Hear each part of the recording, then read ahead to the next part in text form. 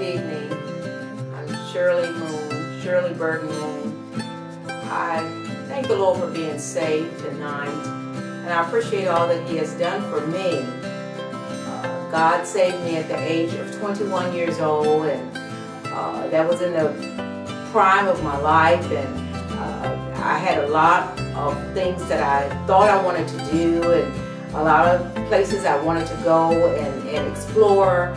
But uh, God saved me right in the nick of time, and I appreciate Him for that.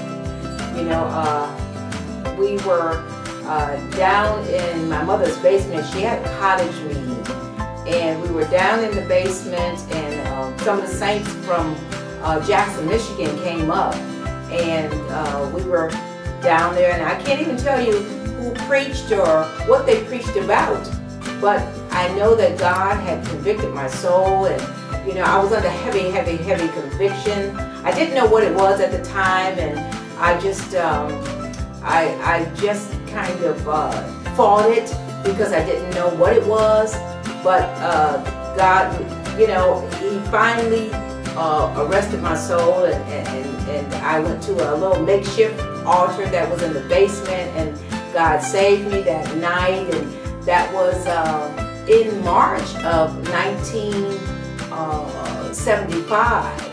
And this is uh, almost March again. It, it will be March of, of uh, 2017, and that will be 42 years.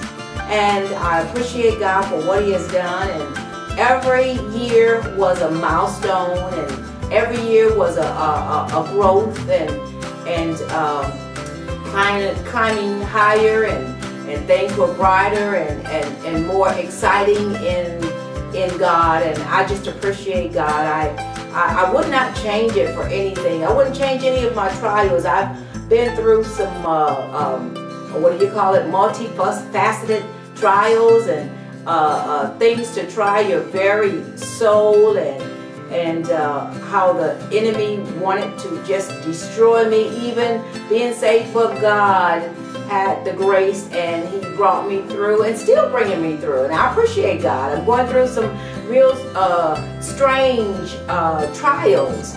But the Bible say, think it not strange, all the trials and the temptations that you're going through. And these are things to make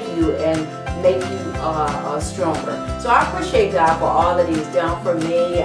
Thank the Lord. Like I said, um, this month, March, it'll be 42 years that God saved me, and I appreciate God. And uh, uh, I'm just looking forward to brighter things and, and, and better things. I appreciate God. I'm just I'm just overjoyed at what God has done for me and what He has done for me. How He changed my life, He can do the same for you. And uh, even even more so.